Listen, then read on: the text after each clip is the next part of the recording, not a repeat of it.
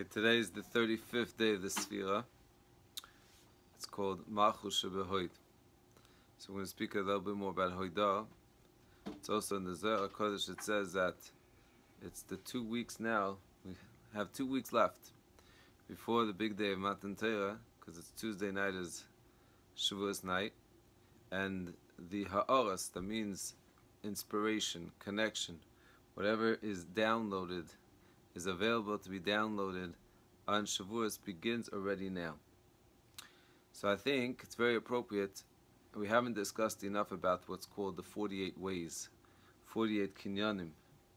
The acquisition was just speaking about a kinyan of, of acquiring different acquisitions of traits that we need to have and acquire before Matan Torah. That's the preparation that Rizal says is the ikka preparation. You can't really come and receive Torah and download the available downloads without preparing. So today is called Oyev Esat loving Teichachas. Now, literally, to translate the word Teichachas is a quite interesting word. Generally, I think they in the English they write rebuke, but if you look at Rashi, when he explains the word Teichacha, Voichecha Vohom, different places, he explains that it means clarification, and it really makes a big difference. Rav Noach Weinberg Zichron has a beautiful sefer. I mean, he had these amazing classes called the 48 Ways. So in Etatechachas, he says that you find that people are almost are they're petrified, and they can the second they hear the word rebuke and critique, it's something that immediately we put up our defenses, and it's true, especially if you translate the word as rebuke and and critique. It sounds this is today, and it's uh, it's almost a a common thing to find in shul. That that's what's called there. You start uh, making a comment to someone, they announce it's a non-judgmental zone, non-judgmental zone, and in a way it's a beautiful thing, but it many times actually takes away from something also beautiful. And the reason for that is the following: is a trait, loving rebuke. So I wouldn't say rebuke, I would say clarification. And even critique, technically, Rav Nech said like this, he said, what do you mean? You see that a person that's a CEO of a company, you own a company, they pay plenty of money, thousands of dollars, for someone to come and give some critique and tell the business how it's losing money here and how if it only did this. And in, and in many, many places, businesses, they have like a suggestion box and even a critique box. And yet, when it comes to the most important business that we have, which is our spiritual growth, if someone comes with a uh, critique, the defenses go up. It, all the mamish, where it's an emergency situation and we get very, very, very, very tense. So the answer to that is yes, it does. It's very difficult to be you know, the translation of Satechas can be misunderstood to mean someone who loves giving the rebuke. The giving of the rebuke is not what we're talking about.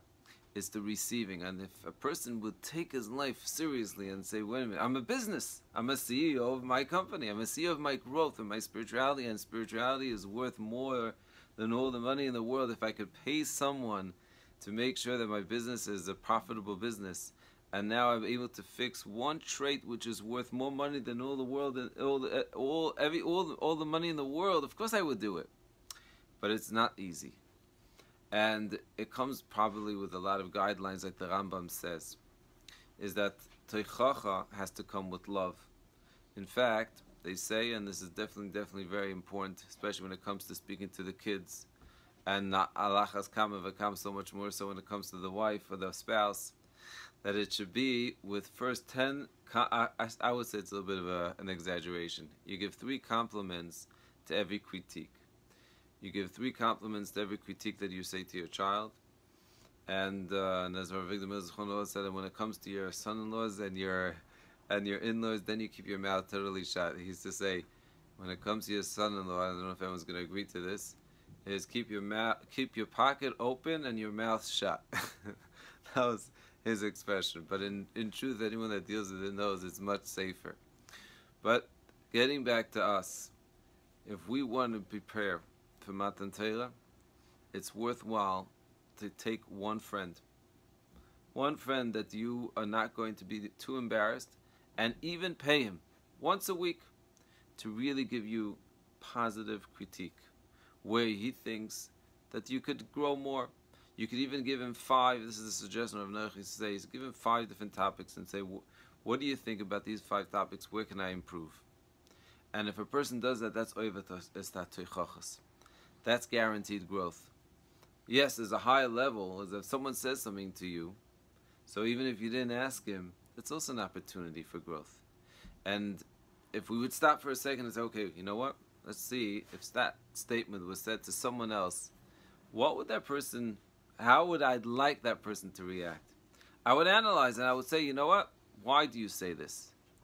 I have a friend, and this is something that applies so much today, especially when it comes to the laws of Lashon Hara, which I think is the greatest, greatest, I don't know, what I think, it's what Chazal say, is the most powerful and damaging um, power that we have with, with us.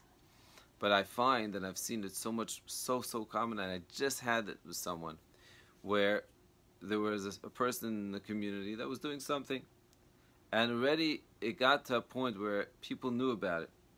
And it's very hard to do what's called in, in, the, in the laws of Lashon not to be Mekabel. It's easy to say I'm not Mekabel. But eventually what happens is it reframes your mind and you start thinking this way. So the way to fix that, there's two options. You tell the person that just told you something so negative about your friend, listen, you just told me something very negative. I can't be Mekabel this, but what does that mean?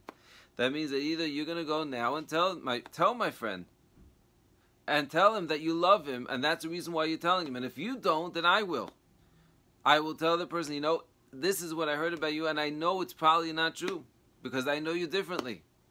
And I, it, has just happened with someone that for a year people were saying things about, and finally I convinced someone to call him, and he told me afterwards, he said, I was so happy that finally a friend, a real friend, came over and said, you know what, this is what they're saying about you, and I know it's not true, and, I would, and at least I want you to clarify. So this is a matana. It's probably the most difficult present but when it comes with love and care and concern, it's something so precious. That's all.